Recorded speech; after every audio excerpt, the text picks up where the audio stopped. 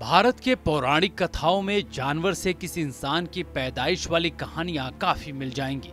अब इस थियोरी पर जापान के वैज्ञानिक काम करने जा रहे हैं। सैरोगेसी के लिए जानवरों के इस्तेमाल की चर्चा काफ़ी है। यानी अब जानवर एक तरह से सैरोगेट माँ की तरह काम करेंगे।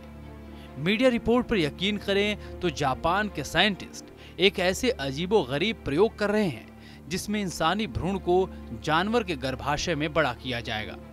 दरअसल जापान की सरकार इस रिसर्च के लिए वहाँ के हिरोमित्सु नकाची नाम के एक स्टेम सेल साइंटिस्ट को हेल्प कर रही है। जापानी साइंटिस्ट इस प्रोसेस पर काम कर रहा है, जिससे जानवरों के गर्भ में ह्यूमन सेल यानी कि मानव कोशिकाओं का विकास हो सकेगा। यानी अब जानवर एक तरह से सेरोगेट माँ की तरह काम करेंगे, या फिर यूँ कहें तो सेरोगेसी के लिए जानवरों का इस्तेमाल किया जा सकेगा। इस प्रोजेक्ट को अंजाम देने के लिए पहले चूहे के गर्भाशय में ह्यूमन सेल्स डेवलप किए जाएँगे। इसके बाद ही किसी दूसरे जानवर के कोख की मदद ली जाएगी। यानी इंसान के भ्रूण को जानवर के गर्भाशय में डेवलप करने की प्रक्रिया पर काम किया जाएगा। लेकिन हम आपको बता दें कि ऐसा करना खतरनाक भी हो सकता है, क्योंकि अगर ये प्रोजेक्ट सफल होता है तो आने वाले वक्त में ऐसे जीव के अस्तित्व में आने की आशंका है, जो आधा इंसान और आधा जानवर हो।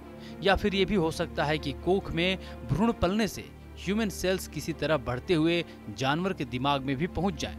ऐसे में उनका दिमाग बुरी तरह से प्रभावित हो सकता है। जापान से पहले कई और देशों ने इस प्रोजेक्ट पर काम करने के बारे में सोचा था, लेकिन इसे कुदरत के साथ खिलवाड़ बताते हुए प्रोजेक्ट को नामंजूर कर दिया था।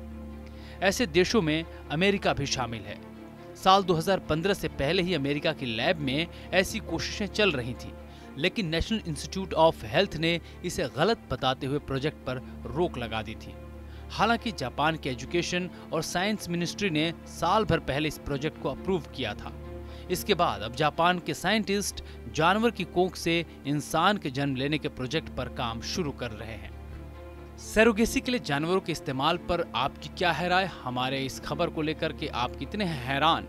इसे हमारे कमेंट सेक्शन में ज़रूर बताएँ। बाकी खबरों के लिए देखते रहिए टीवी नाइन डिजिटल।